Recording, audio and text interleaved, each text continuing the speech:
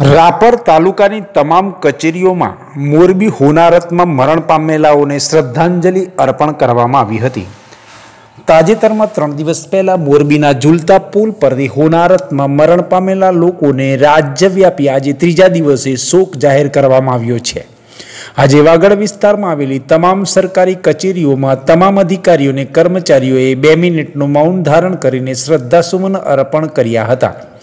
રાપર તાલુકા મામલતદાર કચેરી ખાતે મામલતદાર કે આર ચૌધરી, નાયબ મામલતદાર સહિતનાઓએ શ્રદ્ધાંજલિ અર્પણ કરી હતી. જોગ સંજોગ મોરબીમાં એકવીસ એકવીસ વર્ષે મોટી આ ત્રીજી ઘાત. ઓગણીસો ને અગ્નાએંસીમાં મચ્છુ હોનારત. બે હજાર એકમાં ભૂકંપ અને બે હજાર બાવીસમાં ઝૂલતો પુલ થયો ધરાશાયી. સિરામિક નગરી તરીકે જાણીતી મોરબી દર એકવીસ વર્ષે કરણાંતિક સર્જાતી હોવાની માન્યતા ફરી એક વખત સાચી ઠરી છે. આજે ત્રીજી વખત એકવીસ વર્ષ બાદ મોરબીમાં દુર્ઘટના સર્જાઈને એમાં અનેક જીવ ગુમાવવાનો વારો આવ્યો.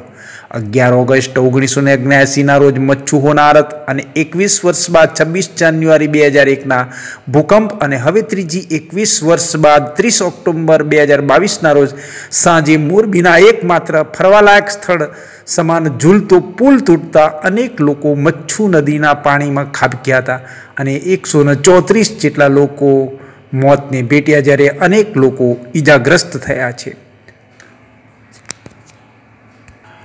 ઘટનાના બેતાલીસ કલાક વીતવા છતાં પણ હજુ સર્ચ ઓપરેશન ચાલુ છે. આજે બીજી નવેમ્બર હોય ત્યારે રાજ્યવ્યાપી શોક જાહેર કરવામાં આવ્યો છે. એનડીઆરએફ, એસડીઆરએફની ટીમો સાથે આર્મી, નેવી એરફોર્સ સહિતની સેનાના ત્રણેય ફાંક સતત બેતાલીસ કલાક સુધી સર્ચ ઓપરેશન કરી રહ્યા છે. પ્રધાનમંત્રી નરેન્દ્ર મોદીએ પર મોરબીની મુલાકાત લીધી હતી અને રાજ્ય સરકાર દ્વારા બીજી નવેમ્બર આજ રોજ ગુજરાતમાં રાજવ્યાપી શોક પાડવાનો નિર્ણય કરવામાં આવ્યો હતો. ત્યારે સમગ્ર રાપર સહિત વિસ્તારમાં શોક પાડવામાં આવી રહ્યું છે અને બે માઉન્ટ મિનિટનું મૌન ધારણ કરી અને શ્રદ્ધાંજલિ અર્પણ કરવામાં આવી રહી છે. મોરબી દુર્ઘટનામાં રાજ્યસભાનો શોક જાહેર કરવામાં આવ્યો, જેમાં અમદાવાદમાં મુખ્યમંત્રી શ્રદ્ધાંજલિ સભામાં જોડાયા. રાજકોટની સરકારી કચેરીઓમાં અડધી કાઠીએ રાષ્ટ્રધ્વજ ફરકાવાયો. તેમજ કચ્છ જિલ્લાના સમગ્ર જિલ્લા વાઇઝ તાલુકા મથકે સહિતની જગ્યાઓ પર શ્રદ્ધાંજલિ અર્પણ કરવામાં આવી રહી છે. રાજ્યભરમાં શ્રદ્ધાંજલિ કાર્યક્રમો યોજાઈ રહ્યા છે. સુરત પોલીસ કમિશનર અજયકુમાર તોમર દ્વારા સંવાદ સાથે લોક દરબારનો કાર્યક્રમ રોંદેલ પોલીસ સ્ટેશન વિસ્તારમાં આવેલા ઇસ્લામ જીમખાના ગ્રાઉન્ડ પર યોજાયો. પોલીસ કમિશનર યુવા પેઢીને ડ્રગ્સ અને નશીલા વ્યસન પર ચડી ગઈ છે તેને અટકાવવા માટેનો ભગીરથ પ્રયાસ હાથ ધરવામાં આવી રહ્યો છે. એ જ રાંદરે વિસ્તાર છે. ત્યાં સૌથી વધારે યુવા પેઢી ડ્રગ્સના રવાડે ચડી ગઈ છે. સૌથી વધારે ડ્રગ્સ આ વિસ્તારમાંથી પકડાયો છે. પોલીસ કમિશનરે પોતાને વક્તવ્યમાં જણાવ્યું કે પોલીસની કામગીરી વિશેને સામાજિક ન્યાય પ્રક્રિયાને સંપૂર્ણ માહિતી રાંદેરમાં આપવામાં આવી. પોલીસ કમિશનર દ્વારા સ્પેશિયલ રાંદેરના ધર્મગુરુને આમંત્રણ આપવામાં આવ્યું હતું અને ધર્મગુરુ દ્વારા પ્રથમ વખત જાહેર મંચ પર કહેવામાં આવ્યું કે તમે પહેલાં વ્યક્તિ છો કે અમને આમંત્રણ આપ્યું છે ને તમારા આમંત્રણને માન આપી હું આવ્યો છું. તેમજ પોતાના વક્તવ્યમાં રાંદેરની યુવા પેઢી યુવા પેઢી નશીલા પદાર્થના રવાડે ચડી છે તેને અટકાવવા માટે હું પોલીસ કમિશનર સાહેબને સાથ આપીશ. એના માટે મારે કુરબાની આપવી પડે તો હું આપવા તૈયાર છું. તેમજ તેમનું ભાષણ પછી યુવા પેઢીને નવો સંદેશો પણ આપ્યો છે કે રાંદેરના ઇસ્માઇલ જીમખાના પર રાખવામાં આવેલો કાર્યક્રમ અંદાજે આઠસોથી વધારે લોકો ઉપસ્થિત રહ્યા હતા તેને સફળ બનાવવા માટે નાયબ પોલીસ કમિશનર હર્ષદ મહેતા તેમજ રાંદેર પોલી પીઆઈ અને સ્ટાફે ભારે જહેમત ઉઠાવી હતી રાંદરના ધર્મગુરુની એક વખત સ્પીચ સાંભળવા જેવી ખરી સાંભળો તેમણે શું કહ્યું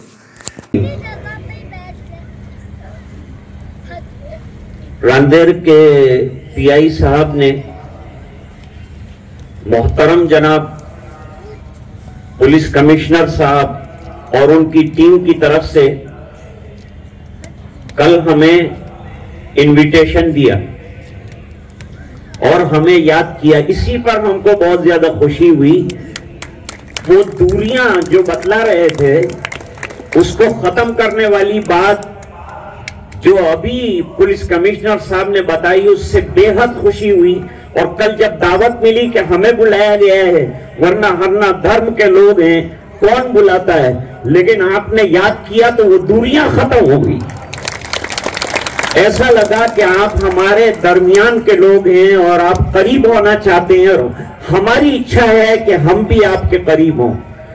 अब आज जो लोक संवाद रखा है, जिसमें पुलिस कमिश्नर साहब ने इतना अच्छा कहा है कि ये कहने के बाद मैं समझता हूँ किसी की ज़रूरत नहीं है कि कुछ कुछ कुछ कहे लेकिन चूँकि उन्होंने ये हुक्म भी फरमाया है कि हम अपने ख्याल का इजहार भी करें तो हम ख्याल का इजहार इस तरह से करते हैं कि इस्लाम में नशे को हराम करार दिया है। प्रोहिबिशन है इसका शदीद तौर पर।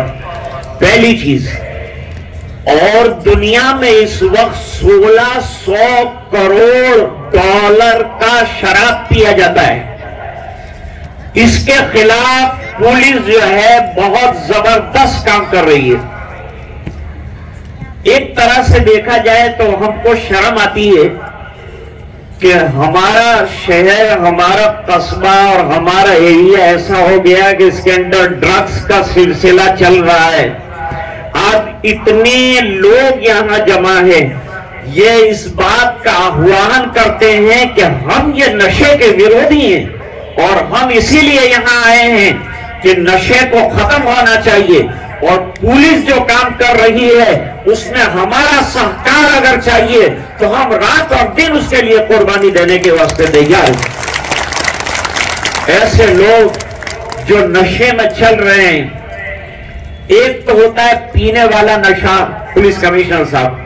और एक वो ड्रग्स जिसको आप पकड़ रहे हैं, और जो एक ग्राम, दो ग्राम, अभी पुलिस साहब ने बताया कि एक दो ग्राम होता है, मुँह में रख दिया जाता है, और उसकी वजह से इंसान तीसरे आसमान पर पहुँच जाता है।